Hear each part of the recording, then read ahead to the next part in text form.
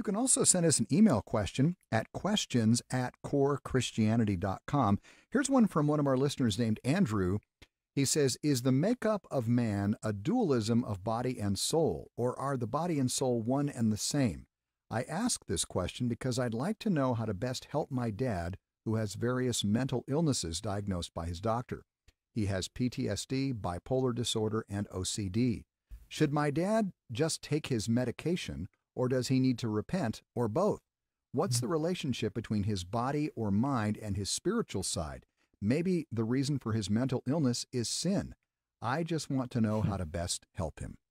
Yeah, great question. I, I, definitely want to get your your thoughts on this as well, Bill. First, you know, usually when we use that word dualism, we're thinking of two things that are opposed to each other, uh, sort of dualistic view of of the world and of the body. And there were people in the ancient world and even today who had this sort of view that the body is bad, physical is bad, spirit is good. You can even see this in the church to some extent, um, but that's not true at all. The the body and the soul are not opposed to each other, um, and they are we would say distinct. We're not talking about the exact same thing. When we die, our bodies go down into the ground, and our spirits, if you will, are in the presence of the Lord. We refer to that as the the intermediate state. But the body is good. That's why uh, Christ assumed humanity to redeem our bodies because God loves creation, what He made, the body even, and so He's going to raise our bodies from the dead. But it does highlight the fact that the, when we're thinking about sin and even things like mental illness, um, this is really complex. Sin has affected every part of us,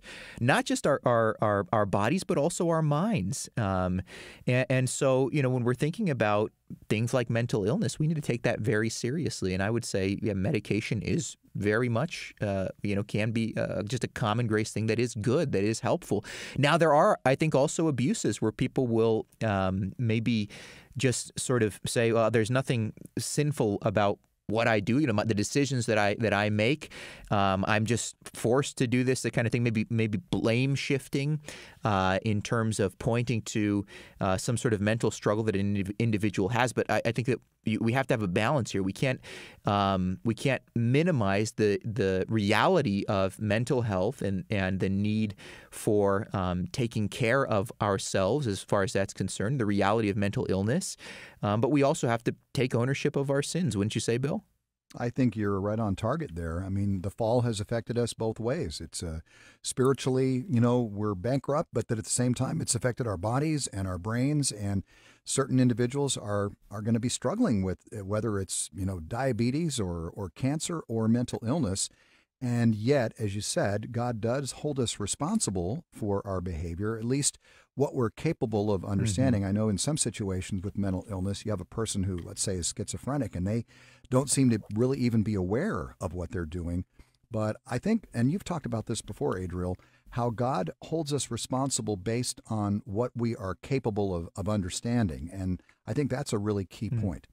Yeah, and so Andrew, I, th- I think just again piggybacking is it's sort of a both and right. Like so, pursue the best of what's out there in terms of um, medicine and doctors and wisdom from from people who know a lot about mental illness and mental health issues, but also make sure that you're you're filled with the word of Christ, that you're drawing near to the Lord, that you're plugged into Christian community. We need we need all of that, and so I, that's what I would recommend for for uh, your father in particular. May the Lord bless the two of you. Hey friends, thanks for watching that video. I trust that it was encouraging to you. Please be sure to subscribe to our YouTube channel if you're looking for more great content coming from Core Christianity. And if you haven't done so yet, would you give this video a like? It's one of the ways that we can continue to get the word out. Uh, so like this video and subscribe to our channel for more content. May the Lord bless you.